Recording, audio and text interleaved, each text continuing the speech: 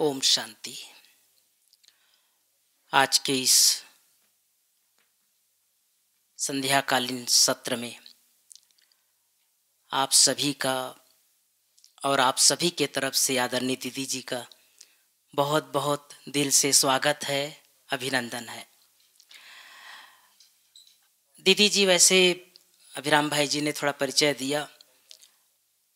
दीदी जी के विशेषताओं के बारे में कितना ही कहें या बताएँ, ऐसा ही है जैसे सूरज को दीपक दिखाना है।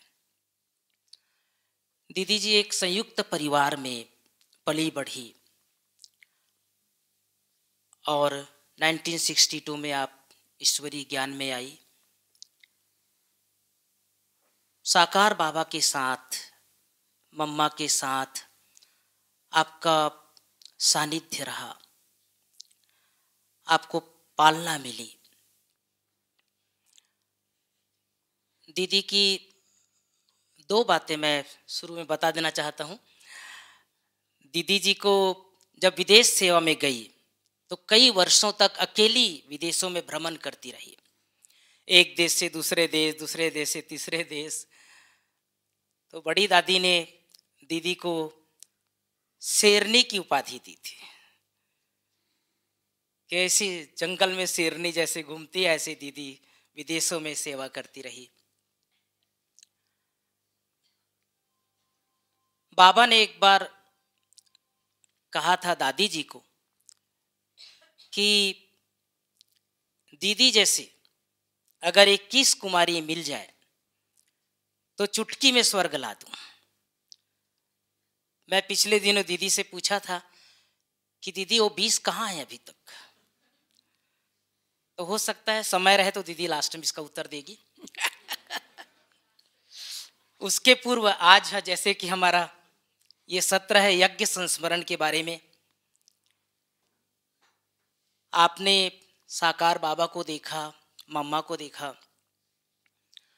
हम सब जैसे जनवरी मास नज़दीक आता है तो बाबा की स्मृति मानस पटल पर अंकित होने लगती, उभरने लगती है। कैसे थे बाबा का जीवन? कैसे पालना करते थे? कैसे मिलते थे? तो बड़ी बड़ी बातें तो हम सुनते रहते हैं, लेकिन आज मैं दीदी से बहुत छोटी छोटी बातें, घरेलू बातें, यज्ञ की, वो मैं दीदी से पूछना चाहूँगा। और ये हमारा परम सौभाग्य है कि दीदी जी, वो सब देखी है। तो दीदी जी अपने आँखों देखा हाल 1962 से, किस तरह से बाबा को देखा, मम्मा को देखी, वो सब हमारे सामने अपने संस्मरण अनुभव युक्त सुनाएगी। पहला प्रश्न दीदी जी से, दीदी आप 1962 में ज्ञान में आई, तत्पश्चात आप बाबा से पत्र विहार करती थी। क्या क्या लिखते थे बाबा को? और बाबा का क्या जवाब आता था? ओम शांति।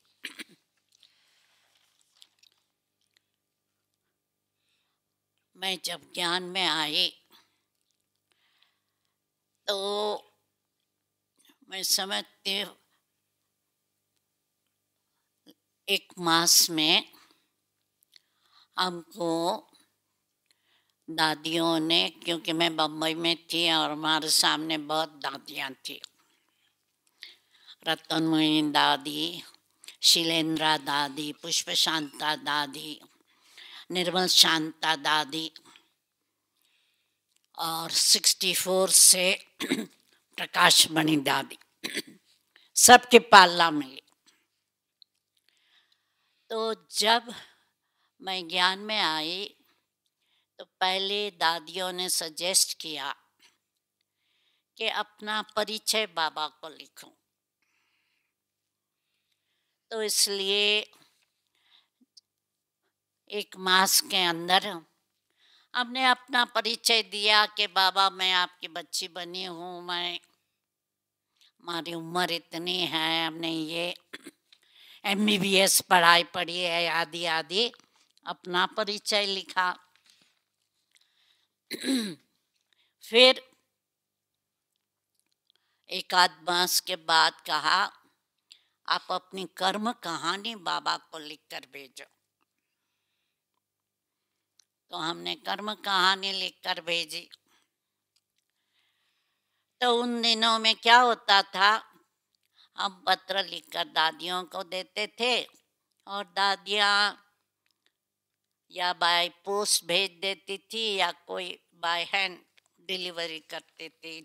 कोई दादी जा रही थी, तब भेजती थी। तो जैसे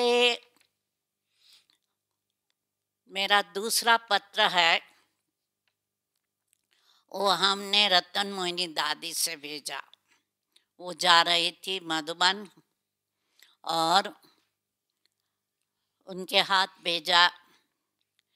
फिर जब दादी वापस आई तो कहा कि बाबा ने आपका पत्र पढ़ते ही, जैसे कि बाबा के सामने आप आ गई।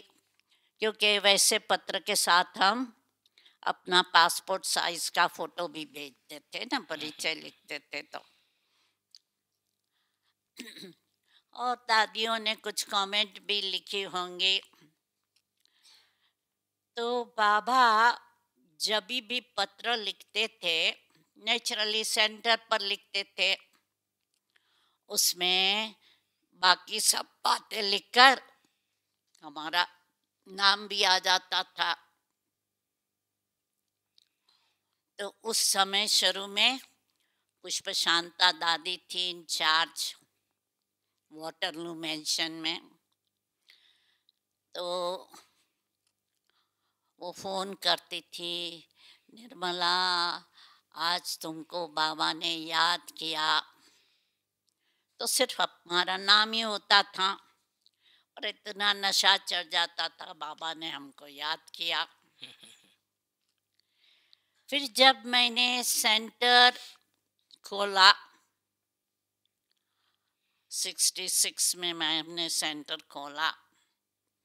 और तब से जब सेंटर खोलती थी तो फिर नेचुरली है बाबा को मैं खुद समाचार लिखती थी। तब बाबा का जैसे कि फुल पेज का हमको पत्र आता था। और बाबा का पत्र आप सभी ने देखा होगा देखा होगा ना?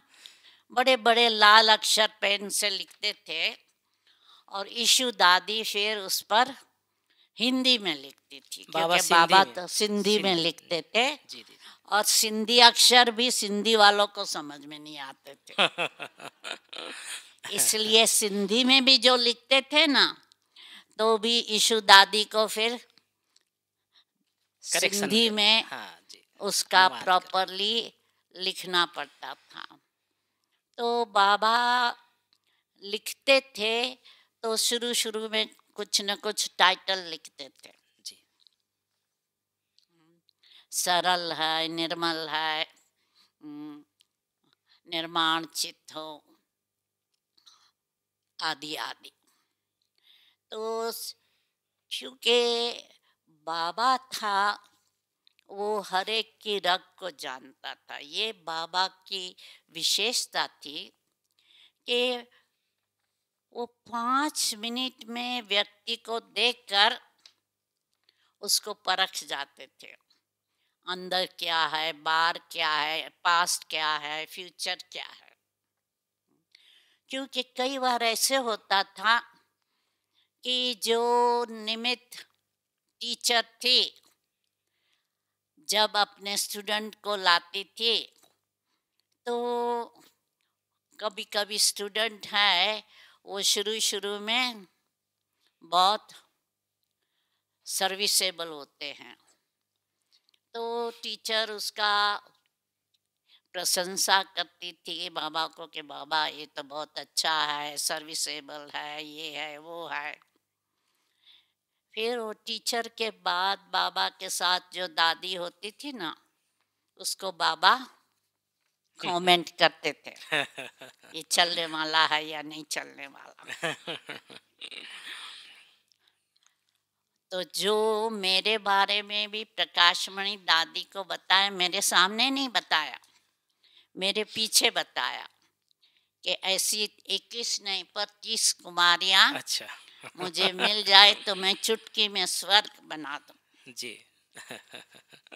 परंतु अभी तक स्वर्ग नहीं बना है। क्योंकि वो चौबीस नहीं मिले हैं दीदी अभी तक। अभी तक स्वर्ग नहीं बना है मतलब बाबा को अभी मेरे जैसी तीस कुमारियाँ नहीं मिली यज्ञ का पहला मकान आप सबको जानकारी हो। कि दीदी के पिताजी ने बाबा को बना करके दिया था। पहला मकान, बना बनाया मकान। ये पूरे यज्ञ इतिहास में पहला मकान था, जो दीदी के लौकिक पिताजी ने बाबा को बना बना करके पूरा कंप्लीट करके दिया था। दीदी, आपने बहुत सुंदर बातें आप बताई कि किस तरह से बाबा को पत्र लिखते थे और बाबा अनेक उपाधियों से आपको विभूषित करते थे। दूसरा प्रश्न है दीदी जैसे अभी मुरली से पहले हम देखते हैं स्टेज पर मधुबन में या सेंटरों में एक भाई या एक बहन योग कराते हैं या दो भाई योग कराते हैं।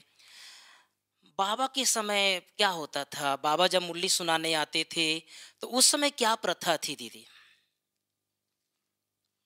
ओम शांति। उस समय भी कोई ना कोई योग कराता था। और यदि मम्मा मधुबन में होती थी जी। तो बाबा के आने के पहले मम्मा मुरली चलाती थी। अच्छा। और जैसे ही मम्मा सुनती थी बाबा का खड़ाव का आवाज़ क्योंकि बाबा खड़ाव पहन के आते थे ना जी। तो खड़ाव का आवाज़ आता है। मम्मा बंद कर देती थी और योग कराती थी। और मम्मा यहाँ बैठी है बाबा यहाँ बैठा है। बाबा मुरली चलाते थे मम्मा बैठी रहती थी। और मम्मा बहुत ध्यान से मुरली सुनती थी। हम्म, यहाँ से सामने बैठना माना ऐसे देखना ना। तो सारा समय एक एक ऐसे बैठकर बाबा की मुरली बहुत ध्यान से सुनती थी। तो जैसे कि बाबा तो भी बड़े स्ट्रिक्ट टीचर थे। हमेशा उनका एम रहता था कि स्टूडेंट टीचर के पहले आ जाए। जी। तो क्या होता था? बाबा आने के पे- छः पाँच मिनट पहले आप देखेंगे सब आँगन में दौड़ते दौड़ते पहुँच जाते थे कि बाबा के पहले पहुँच जाए। जी दीदी और उन दिनों में तो सब यंग थे। तो क्या करते थे कि हिस्ट्री हॉल में हिस्ट्री हॉल ही था। तो हिस्ट्री हॉल में किसी को भी दीवार को टेक कर नहीं बैठना कोई सोफा उन दिनों में सोफा कुर्सी कुछ नहीं। सबको पट में बैठना होता था। हम्म, और कई बार मुरली के पहले बाबा कमरों में चक्कर लगाते थे। कि सब उठकर क्लास में गए हैं और उठकर अपनी बेड वगैरह ठीक बना के गए हैं। ऐसे नहीं कि जो चद्दर इधर उधर फेंक कर, कपड़े इधर उधर फेंक कर गए नहीं, रूम भी साफ़ होना चाहिए। तो बाबा कभी कभी रात को भी चक्कर लगाते थे कि सब कैसे सोए। सात्विक नींद है, राजसिक नींद है, तामसिक नींद है, उनके चेहरे से बाबा को मालूम पड़ जाता था। हम्म, कि शांत चित्त है हर्षित चित्त है या कुछ सोचते हैं आदि आदि। हम्म, तो बाबा बच्चों की शिक्षा भी देते थे सावधानी भी देते थे तो प्यार से पालना भी करते थे। इसलिए सभी का बाबा से प्यार भी था। तो बाबा नाराज़ ना हो, उसके ऊपर बहुत ध्यान देते थे। जी दीदी।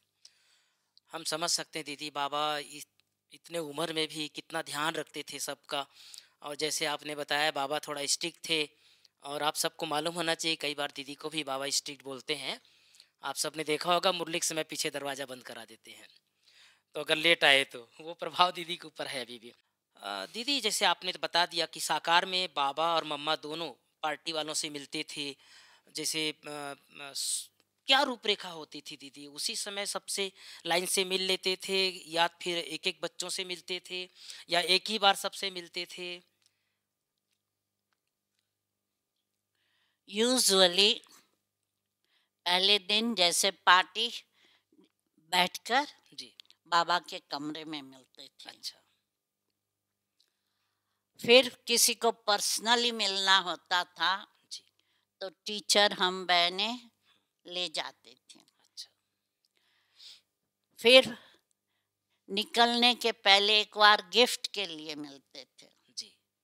कमरे में बाबा गिफ्ट देते थे बाबा अपने हाथों से ही देते थे हाँ? दीदी सबको एक एक अपने हाथों से गिफ्ट देते थे।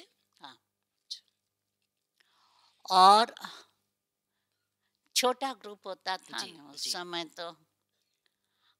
अभी तो हज़ारों की संख्या में लोग हाँ, आते हैं। जी जी जी। उस समय तो छोटा ग्रुप होता था। और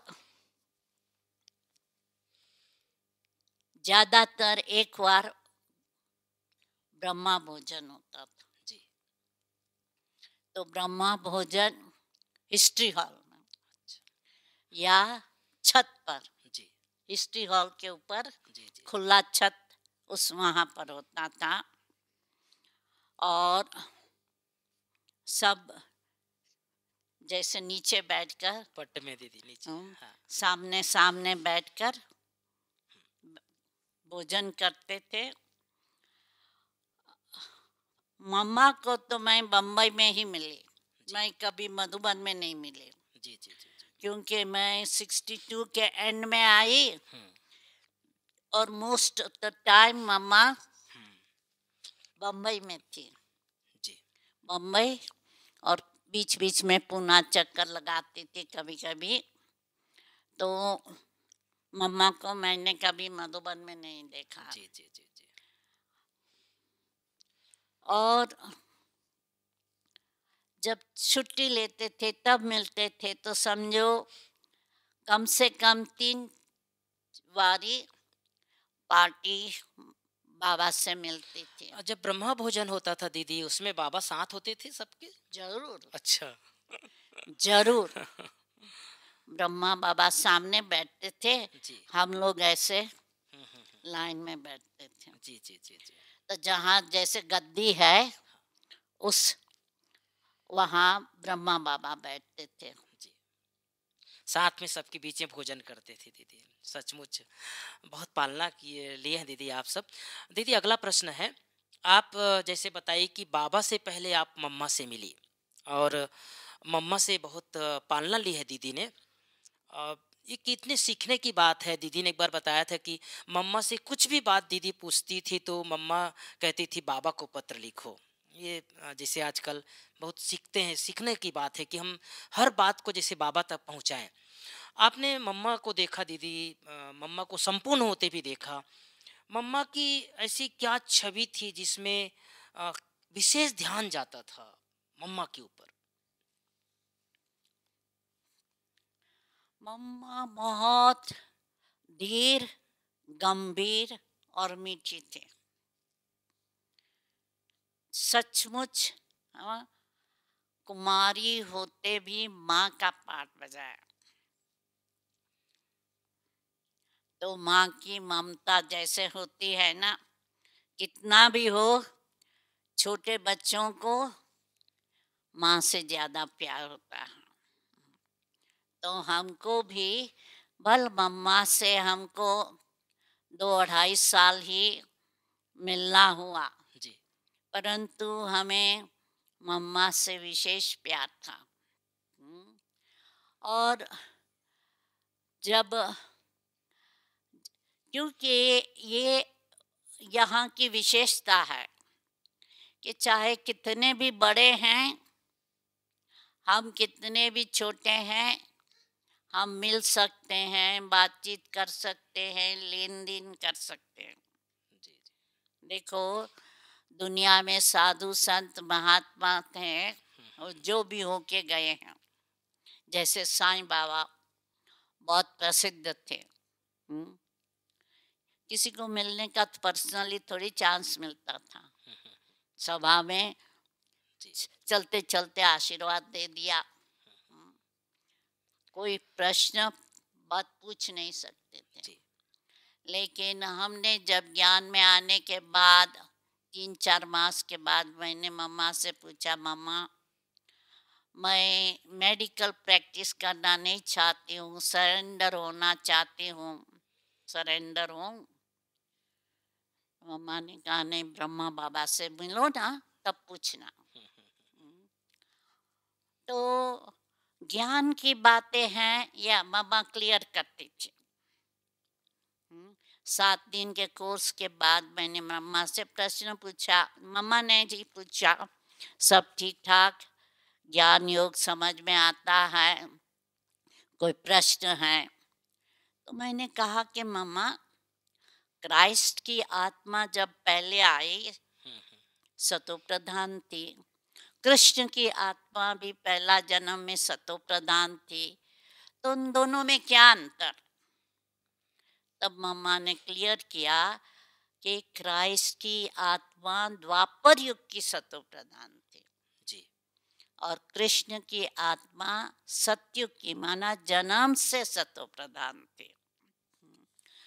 तो जैसे मम्मा ज्ञान योग के प्रश्न जवाब दे देती थी बाकी जीवन का जो फैसला करना होता था तो ब्रह्मा बाबा से करना होता था। जी जी जी जी जी दीदी तो सचमुच मम्मा की बहुत बड़ी विशेषता थी कि जो भी बड़े डिसीज़न होते थे कोई भी दीदियों के, बहनों के तो बाबा तक पहुँचा देते थे।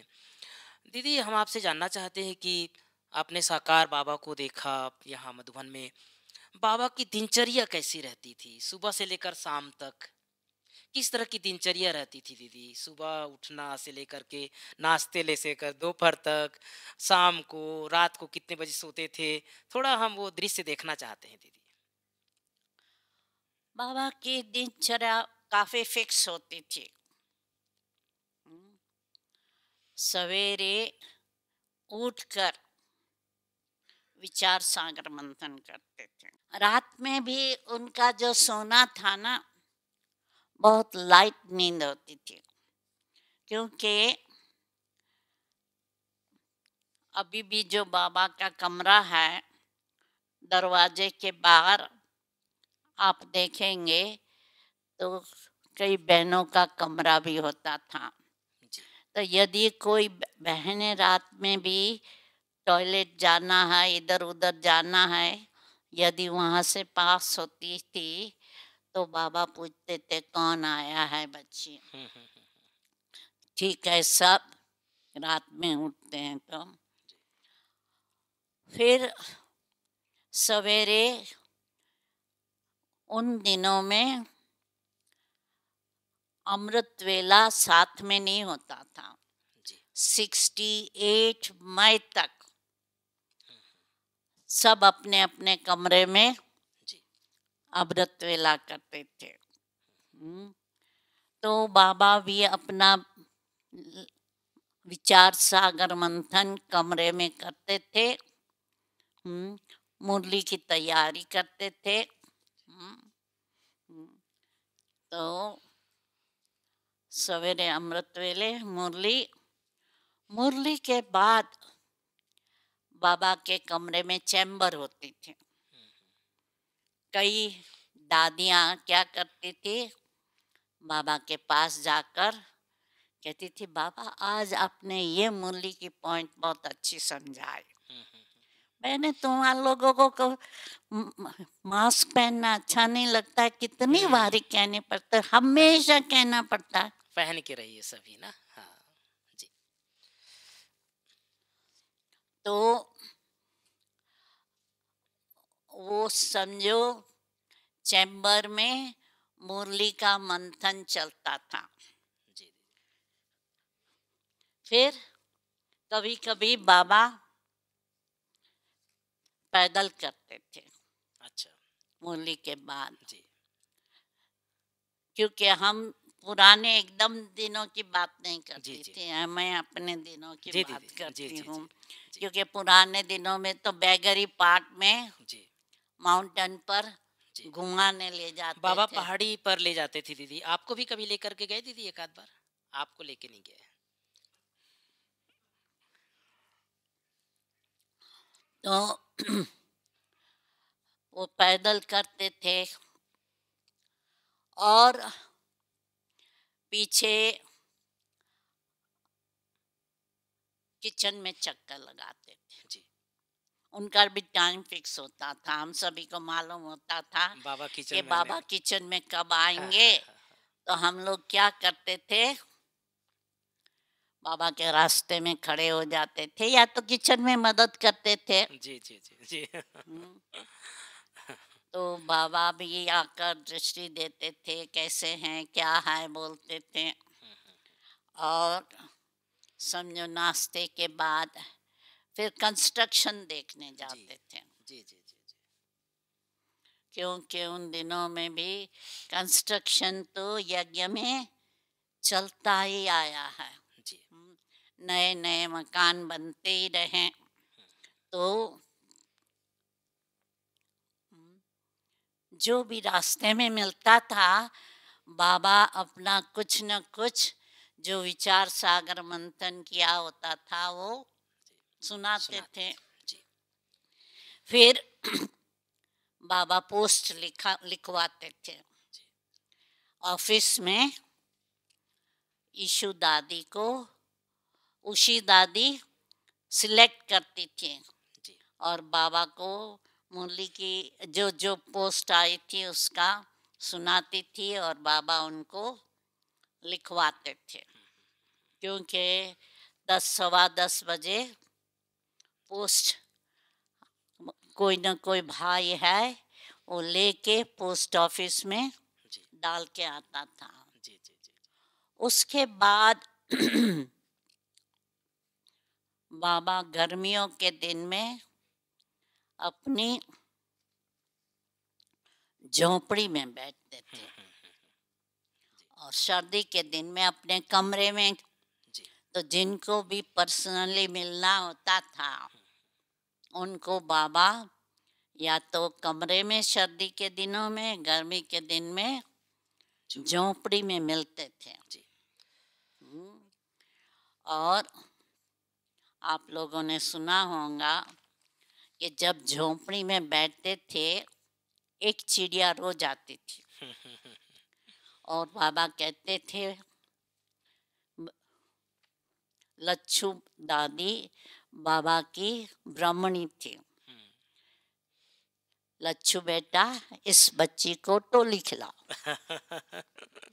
मतलब चिड़िया भी बच्ची लच्छू भी बच्ची। हाँ, हाँ, हाँ, तो इसलिए रोज टोली खिलाते थे तो रोज वो चिड़िया आती थी। हम्म, और टोली खाती थी। ठंडी के दिनों में भी बाबा जब चक्कर लगाते थे देखते थे कि कोई लेबरर के पास गरम कपड़ा नहीं है फ़ौरन लच्छू को कहेंगे लच्छू बेटा इसको इस बच्चे को गरम स्वेटर दो। तो तब से ये रस्म हुई है हर सर्दी में यहाँ हर लेबर को ब्लैंकेट एक ब्लैंकेट मिलता है। तीनों अभी में दिया अभी जाता तक ये रस्म चालू रही है। तो बाबा को ख्याल होता था कि यहाँ की सर्दी माउंट की कितनी है तो लेबरर को ब्लैंकेट ज़रूर देना है। तो क्या है कि बाबा चाहते थे बच्चों से खेले भी।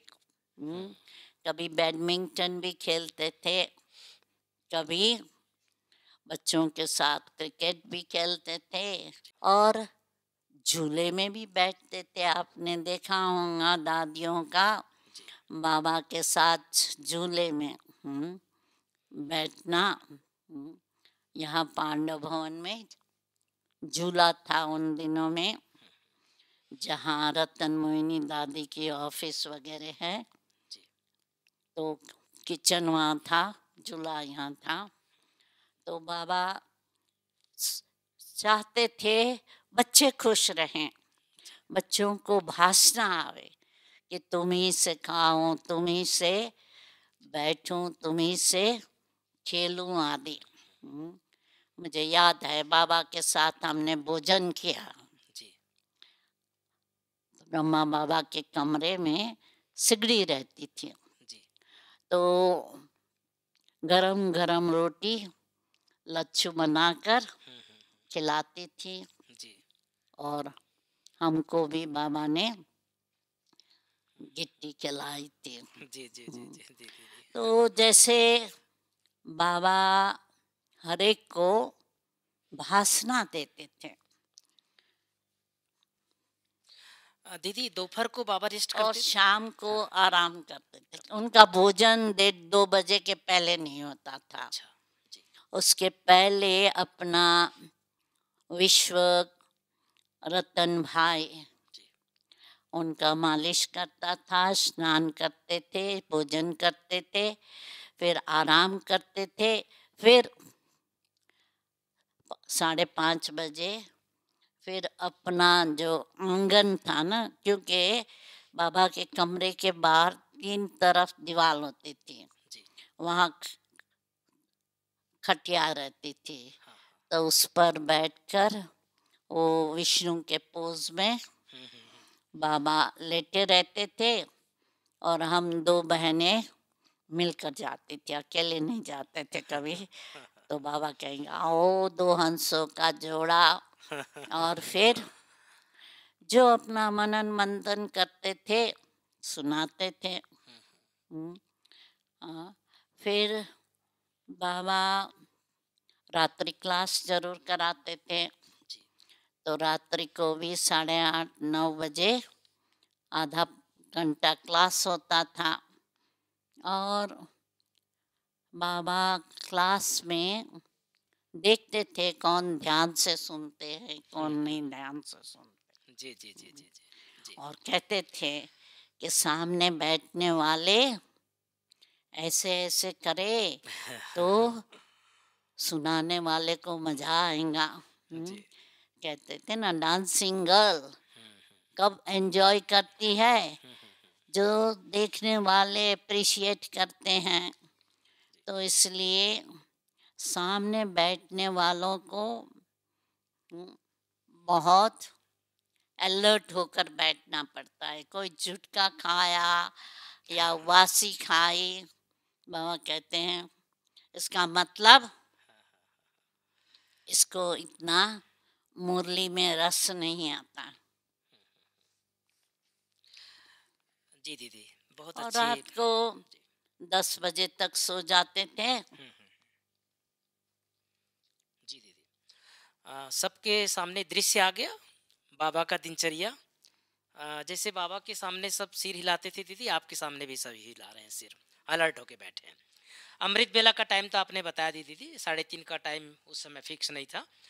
दीदी, अगला प्रश्न है कि बाबा, ब्रह्मा बाबा के बारे में कई बार हम मुरलियों में सुनते हैं कि गाँव का छोरा था, गाय चराते थे नंगे पैर घूमते थे, सिर में पटका बांधते थे, और ऐसी कई बातें सुनते हैं। ब्रह्मा बाबा की आत्मा, श्री कृष्ण की आत्मा, अंतिम जन्म में इस तरह का सीन और कोई बात आपने बचपन की सुनी हो, दीदी? बाबा के बारे में दादियों से और या इसके पीछे क्या रहस्य है? मतलब बहुत साधारण जीवन था। जी। नंगे पाँव घूमते थे गाँव के छोरे थे। हाँ हाँ हाँ और उनके लौकिक पिताजी स्कूल टीचर थे। जी दीदी तो उन दिनों में स्कूल टीचर को बहुत रिगार्ड देते थे। जी। कई बार स्कूल टीचर को घर में अनाज भी बेच देते थे ना गुरु के लिए भावना होती है। जी। और बाबा कहते हैं कि उन दिनों में अनाज भी बहुत सस्ता था। हम्म, एक आने मन गेहूँ चावल आदि थे। जी। हाँ तो स्कूल टीचर के नाते कभी कोई दूध पहुंचाता था कोई अनाज पहुंचाता था और बहुत उनका रिगार्ड रहता था। और उनका चाचा मूलचंद चाचा का भी बाबा कई बार वर्णन करते हैं। बहुत दानी था और दान करता था। हाँ तो जब बाबा बड़े हुए तो उन्होंने जवाहरत का धंधा पसंद किया। हम्म, और उसमें बहुत सक्सेसफुल रहे। उनके पास क्रिएटिविटी थी। नए नए डिज़ाइन के वो सब अंगूठी इयरिंग नेकलेस हाथ के कंगन आदि बनाते थे। और उसके साथ साथ क्या करते थे कि घर वालों को पहले पहनाते थे। बेचने के पहले घर वालों को पहनाकर पीछे बेचते थे। तो समझो घर वालों को भी नशा रहता था। और आपने सुना होगा कि काफ़ी युक्तिबाज थे। क्योंकि एक बारी दुकान से चोरी हो गई। हम्म, अभी चोर को कैसे पकड़ें? तो मारपीट करके नहीं परंतु चालाकी से कहा कि चलो जिसके ऊपर शक आया वो बच्चों को कहा चलो मैं आपको नया शर्ट दूँगा। आपने हीरे कहाँ रखे हैं बताओ? तो बच्चों ने बता दिया। और सचमुच उन बच्चों को शर्ट लेकर दिया। मतलब कि अपना काम भी निकाल लेते थे। जी। तो साथ साथ लड़ाई झगड़ा या गुस्सा करने की बात नहीं जी दीदी ब्रह्मा बाबा जैसे बचपन की बातें हम सब सुनते हैं बड़े हुए उसके बाद का जीवन लंबा इतिहास है बाबा के जीवन का। दीदी एक प्रश्न है किसी ने पूछा है कि बाबा के समय खान पान की व्यवस्था कैसी थी? यहाँ तो पकोड़ा बनता है हलवा बनता है पनीर की सब्ज़ी बनता है मना ब्रह्मा भोजन हो गया। उस समय क्या खान पान में कैसा रहता था दीदी? मतलब क्या सिंपल रहता था कि कुछ ये सब भी वैरायटी भी खिलाते थे बाबा?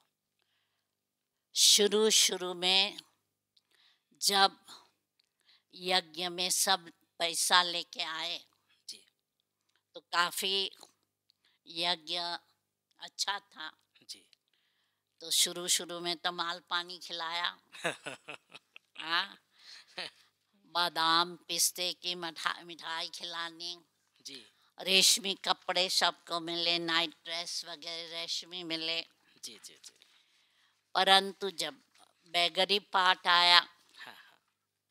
तो उस अनुसार हुआ हर एक को अपना फिक्स बताना है। एक रोटी खाना है तो एक रोटी खाना है। दो रोटी खाना है तो दो ही खाना है ताकि रोटी बच न जाए। फेंक ना देनी पड़े। जी। तो इसलिए सबका फिक्स खाना था। और यदि कोई कहे कि मुझे खीर अच्छी नहीं लगती मुझे पापड़ चाहिए। तो वो समझता था कि मैं त्याग करता हूँ खीर का और पापड़ सिंपल है वो खाता हूँ। परंतु बाबा कहता था ये भी लालच है लोभ है। हम्म, ये अच्छा नहीं लगता वो चाहिए ये नहीं होना चाहिए। यज्ञ में जो मिलता है जो बनता है प्यार से खाओ। हम्म, तो जैसे फिक्स भी था और कोई अपना स्पेशल नहीं बनाते थे जी जी जी जो बीमार होते थे अलग बात होती थी। परंतु ऐसे नहीं खुद जाके बनाते थे। जी दीदी नहीं इस तरह की व्यवस्था बीमारों का भोजन भले कोई बनाता था और बनता भी था परंतु सिंपल खाना। जी दीदी परंतु वैरायटी भी और आज तक भी जैसे दादी प्रकाश मणि थी उन्होंने भी ऐसे रखा था कि जो भी आते हैं तो नया ग्रुप आता था ना तो बाबा भी पूछते थे सब ठीक ठाक है? नींद ठीक आई? ब्लैंकेट वगैरह सब ठीक था? पूछते जी थे। जी। किसी को कुछ ठंडी लगती है तो एक्स्ट्रा ब्लैंकेट या रजाई दी जाती थी। तो बाबा भी सबको पूछते थे सब ठीक ठाक है। और बीच बीच में कचहरी भी चलती थी जब शुरू शुरू में। हाँ हाँ भी होती थी मम्मा बाबा बैठकर पूछते थे किसने किसको दुख दिया किसने किससे दुख लिया? जी। हम्म, तो ये कचहरी भी होती थी। मतलब हर एक का ध्यान रहता था कि हम किसी को दुख न दे और बाबा मम्मा दादियों का ध्यान रहता था सब कंफर्टेबल रहे। जी जी जी। दादी प्रकाशमणि भी जब भी विदेशी आते थे पूछती थी क्या खाना है? डबल विदेशी कहते थे हमको पटेटो चिप्स चाहिए।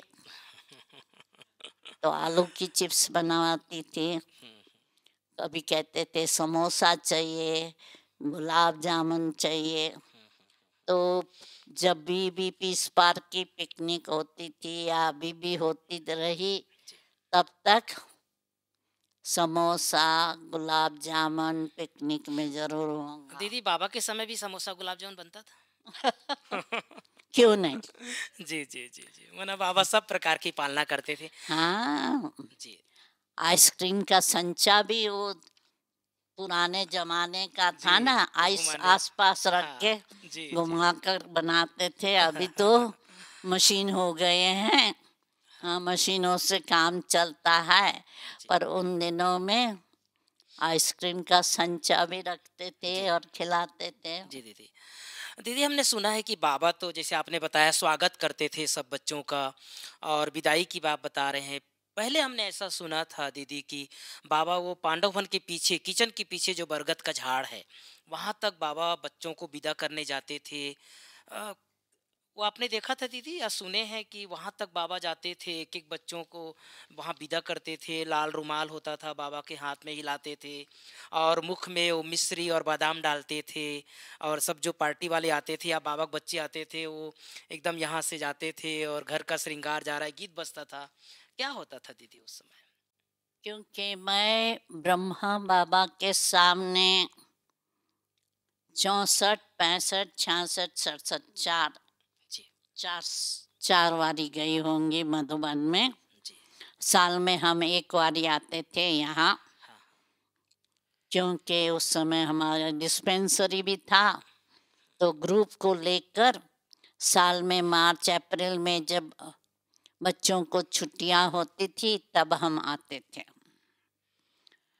तो जहाँ तक मुझे याद है हमने वहीं बाबा की ऑफ़िस में ही छुट्टी ली जी। बाकी रमेश भाई ने अपने जो अनुभव में सुनाया है कि उस समय बाबा पैर तक नीचे जी। आते थे और रुमाल से छुट्टी देते थे। हाँ हाँ। जी जी जी। तो समझो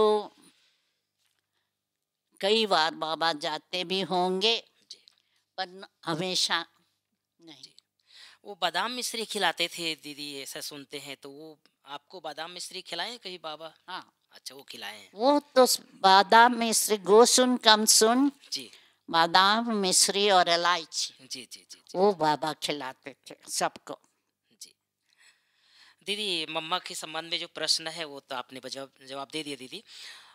एक प्रश्न और है दीदी कि साकार बाबा से सभी बहुत प्यार करते थे। जो भी बच्चे, युवा जवान सब बाबा को बहुत प्यार करते थे और सभी को ऐसा महसूस होता था कि बाबा मुझसे बहुत प्यार करते हैं।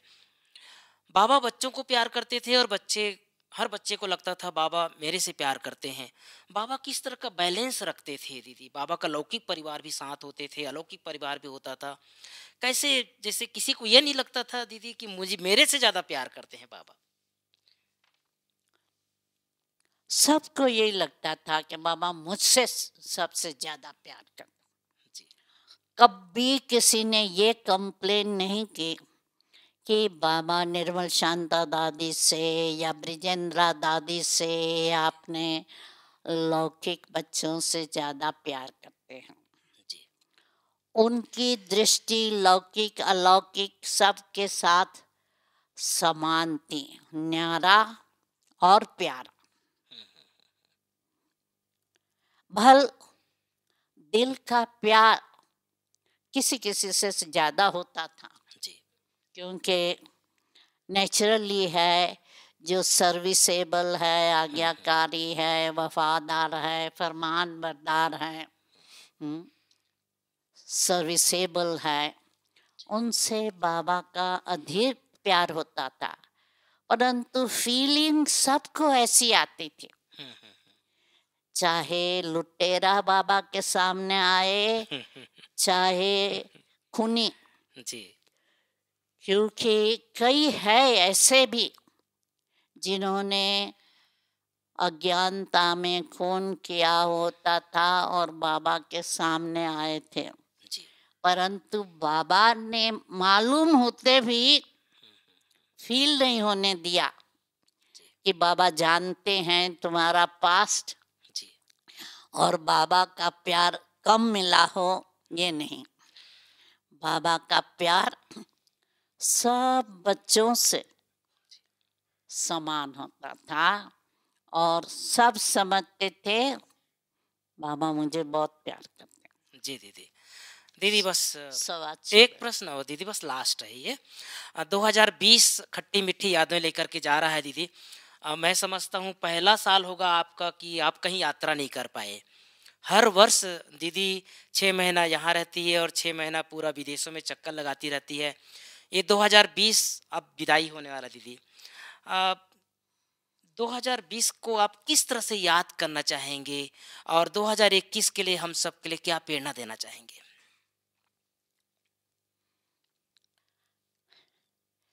हर दिन समान नहीं।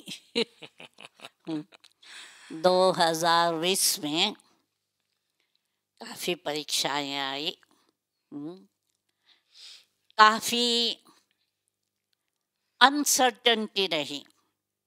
मालूम नहीं था कि ये कोरोना कब पूरा होगा। हम्म, और बढ़ता ही गया बढ़ता ही गया बढ़ता ही गया। हम्म। परंतु हमने देखा कि बाबा के बच्चे सब अचल अडोल रहे। हैं कई बच्चों को कोरोना हुआ भी सही। कोई कोई ने शरीर भी छोड़ा। जी। हम्म, हमारी दादी ने जानकी दादी ने कोरोना के बीच शरीर छोड़ा। हम्म, तो क्या है कि सब विधि बदल गई। आना जाना सब बंद हो गया। परंतु हमने देखा सेवा बहुत हुई। जी। जो वेबिनार हुए सेमिनार हुए कोर्सेस किए लाइन पर जूम द्वारा कोर्सेस हुए। मुरलियाँ जूम द्वारा चलती है। तो जो लोग सेंटर पर नहीं आते थे अभी घर बैठे मुरली सुन सकते हैं। हाँ हाँ। तो मुरली सुनने वालों की संख्या बढ़ गई। कोर्स करने वालों की संख्या बढ़ गई। और कईयों ने इंटरनेट द्वारा कोर्स करके मुरली के स्टूडेंट भी बन गए। जी दीदी तो ये पॉजिटिव बात है दीदी 2020 में। इसलिए क्या है बाबा कहते हैं ना जो कुछ होता है उसमें कल्याण। कल्याण भरा हुआ है। जी। तो हम तो पॉजिटिव रीति से ही देखेंगे। अब भविष्य में हमको क्या करना है? तो भविष्य भी अनसर्टन है। कब तक ये चलेगा मालूम नहीं। परंतु एक बात अभी हमको ध्यान में रखनी है, विनाश कब भी हो सकता है, अपना मौत कभी भी हो सकता है। हम्म। इसलिए बाबा जो कहते हैं एवर रेडी रहो। अपने आप को बाप समान बनाओ। तीव्र पुरुषार्थ करो। हम्म। और संडे की मुरली में भी बाबा ने हमको अच्छा लेसन दिया। जी। बीती को चिंतावना नहीं है पास्ट को पास करना है। और पास विथ ऑनर बनना है।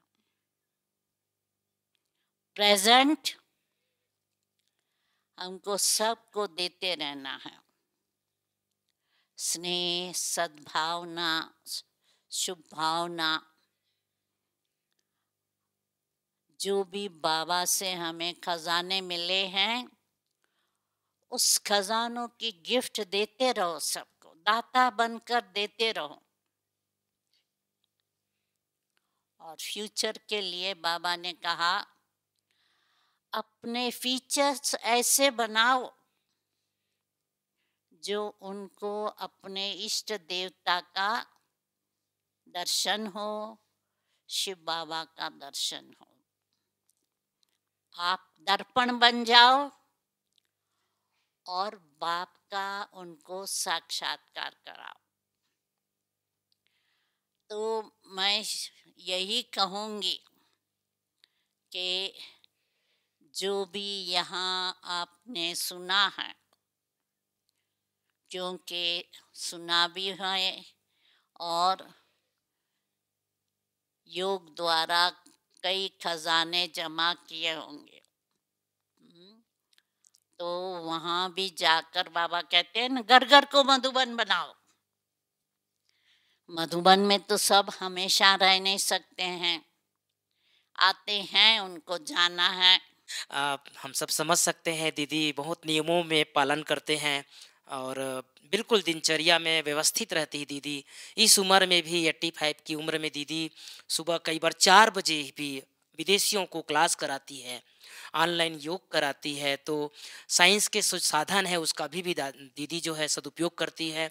इस उम्र में भी हम दीदी को देखते हैं सारे विश्व में अपने वाइब्रेशन फैलाती है अपना कीमती समय निकाल करके हम सब के लिए समय दिए। एक बार दीदी का पुनः बहुत बहुत धन्यवाद। दीदी ने अपना पूरा एक जीवन का अनुभव हमारे सामने रखे मम्मा बाबा का दृश्य हमारे सामने ला दिए। और सचमुच जब जब जनवरी मास आता है तो हम सब के अलौकिक, पारलौकिक पिता कैसे ब्रह्मा बाबा थे, उनकी स्मृतियाँ ताजी होने लग जाती है। तो दीदी ने अपना पूरा एक वृतांत अनुभव हमारे सामने रखे। दीदी, आपका एक बार बहुत बहुत धन्यवाद। अभी हम सभी दो मिनट बाबा को याद करेंगे।